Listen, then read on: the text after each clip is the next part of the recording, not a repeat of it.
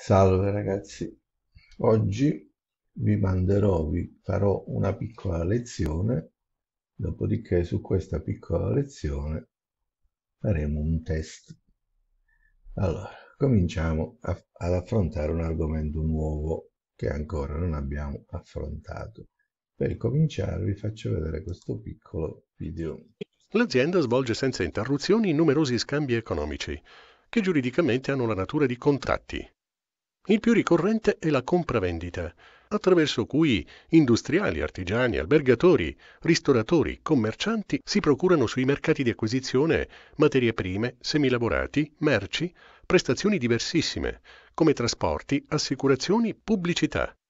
Poi, attraverso altri contratti, collocano sui mercati di sbocco i prodotti finiti ottenuti, le merci acquistate, i loro servizi. Inizialmente le parti interessate allo scambio trattano, con proposte e controproposte, la quantità e la qualità della merce, il prezzo, il luogo della consegna, i modi di imballaggio, trasporto e pagamento. Se viene raggiunto l'accordo si procede alla stipulazione e quindi all'esecuzione del contratto. Durante le fasi della compravendita vengono emessi documenti che hanno la funzione sia giuridica, di prova delle operazioni compiute, sia fiscale per l'applicazione dell'IVA, un'imposta che grava sulle vendite di beni e sulle prestazioni di servizi. Bene, allora cominciamo a vedere alcune cose. Allora, intanto parliamo di aziende commerciali. Bene, noi diciamo, stiamo parlando del contratto di compravendita, ma cos'è un contratto di compravendita? È un contratto che si fa tra un'azienda che vende delle cose e qualcun altro che queste cose le compra. Allora, intanto che, di che cosa stiamo parlando? Quali sono le cose, gli oggetti di cui parliamo? Sono le merci. Bene? Le merci hanno delle caratteristiche, cioè noi chiamiamo merci gli oggetti che hanno queste caratteristiche, cioè sono beni materiali, trasportabili e destinati allo scambio. Allora, che vuol dire materiale? Materiale vuol dire che si possono toccare, sono solide, hanno una consistenza fisica. Bene? Trasportabili vuol dire che queste merci possono essere spostate, trasferite da un posto ad un altro, no? Noi produciamo, che ne so io, il vino a Cassano e poi lo vendiamo a Cosenza, lo possiamo spostare, è una merce. La destinazione dello scambio significa che noi trattiamo le cose, gli oggetti come merci quando questi sono destinati ad essere vendute il piatto di pasta che ci fa la mamma a mezzogiorno non è una merce perché non è destinato ad essere venduto ma ad essere consumato direttamente. Va bene? Allora, queste cose qua, l'insieme delle operazioni che si fanno per fare queste attività si chiama distribuzione, cioè le aziende commerciali si occupano non soltanto di quella cosa che abbiamo detto prima, ma si occupano della distribuzione, che significa che devono trasferire queste merci nello spazio, nel tempo, senza che vengano sottoposte queste merci a dei cambiamenti, delle trasformazioni fisiche, restano uguali. Bene?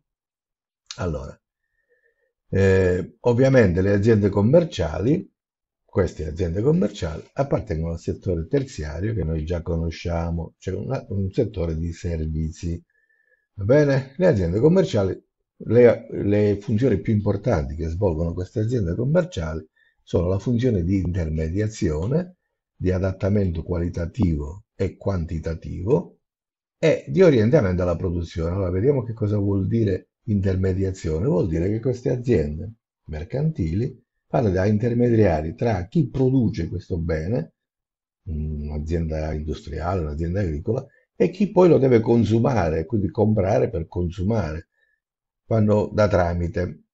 L'adattamento qualitativo e quantitativo riguarda il fatto che le aziende mercantili fanno delle operazioni, per esempio se un'azienda eh, compra una certa quantitativo di, di mele e poi queste mele come adattamento qualitativo le distribuisce, le, le divide in base che ne so, alle dimensioni, al grado di maturità, al colore delle mele, da una parte le mele gialle, da una parte le mele verdi, da una parte le mele, le mele rosse e così via. Si chiama adattamento qualitativo. Poi c'è anche un adattamento quantitativo, perché l'adattamento quantitativo riguarda il fatto che i produttori non possono vendere le cose che producono una alla volta, no? Quindi le vendono a queste aziende mercantili che poi le raggruppano in quantitativi più piccoli per essere poi più facilmente distribuiti. L'orientamento della produzione è che ovviamente l'azienda mercantile attraverso i suoi ordini, gli ordinativi, dirige in qualche modo la produzione, cioè se io sono un commerciante di, di jeans, i jeans mi, che voglio vendere hanno un certo colore, dico a chi li produce di produrre questo tipo di jeans e quindi diciamo che le aziende mercantili hanno anche una, una funzione di orientamento a chi produce. C'è anche un'altra funzione che è quella di finanziamento.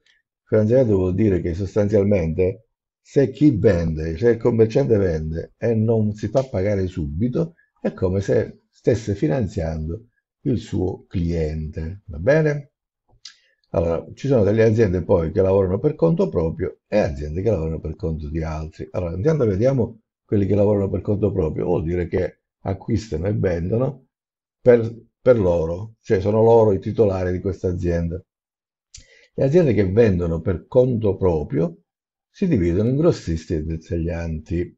Allora, un, sono dei termini che voi già conoscete, che tutti conoscono, ma adesso andiamo ad approfondire, perché i grossisti sono, commercianti all'ingrosso, sono quei commercianti che acquistano le merci direttamente dai produttori e normalmente le rivendono non al consumatore finale, ma un'altra azienda, mentre le aziende al dettaglio, i dettaglianti, sono quelli che acquistano normalmente dai grossisti o dai produttori e le rivendono al consumatore finale. Quindi non è una questione di quantità, ma è una questione di chi sono i soggetti che svolgono la compravendita. Per quanto riguarda il dettaglio, cioè le vendite al dettaglio, si parla di piccolo dettaglio e di grande dettaglio. Sostanzialmente il piccolo dettaglio è rappresentato dai piccoli negozi che ci sono nei nostri paesi, il grande dettaglio invece riguarda la grande distribuzione, i grandi supermercati, gli hard discount, gli ipermercati oppure, quelle aziende che vendono online, come per esempio può essere Amazon, no? Si chiama grande distribuzione. Va bene.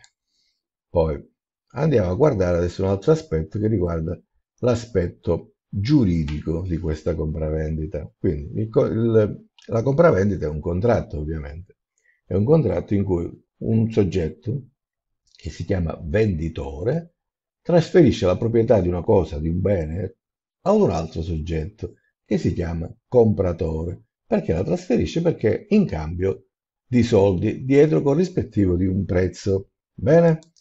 Questo contratto di compravendita ha delle caratteristiche, cioè deve essere bilaterale. Bilaterale vuol dire che ci devono essere due soggetti, il venditore e il compratore. Il venditore si chiama anche fornitore il compratore si chiama anche cliente. Bene?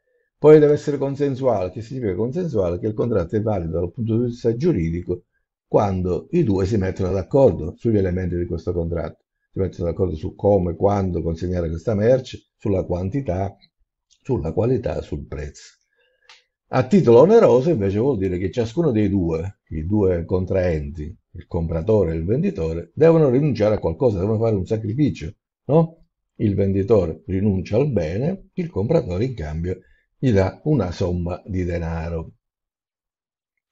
Per quanto riguarda gli obblighi del venditore e del compratore, allora vediamo. Il compratore ha sostanzialmente due, due soli obblighi, che sono quelli di ritirare la merce e di pagare il prezzo che hanno stabilito.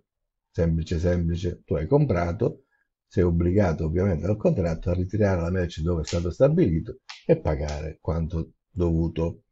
Il venditore ha un po' più, un pochino di, più di obblighi, vediamo. Intanto ha l'obbligo di consegnare la merce, la, la il bene venduto. Hm?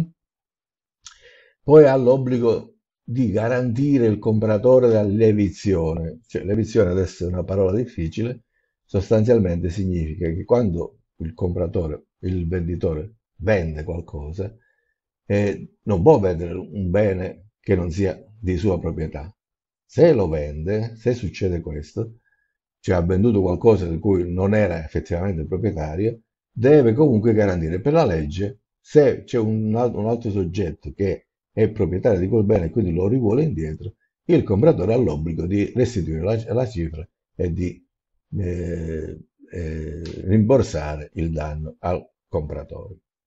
Il venditore deve anche garantire il compratore da quelli che si chiamano vizi occulti, cioè i vizi occulti sono dei difetti che non si vedono, che sono nascosti, per cui quando tu vai a comprare questo bene non ti accorgi che esiste questo difetto, lo compri lo stesso, però l'obbligo del venditore di garantire che quando succede che poi comprate qualcosa, tornate a casa e poi non funziona, potete riportarlo indietro perché il venditore deve garantire da questi vizi occulti.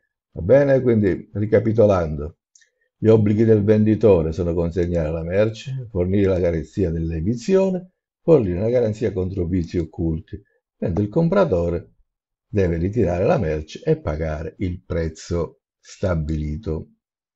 Bene? Possiamo adesso finire questa prima parte a questo punto qua. Dopodiché su queste cose che ho appena spiegato vi darò da fare un piccolo test al quale dovrete rispondere sempre tramite Google Drive.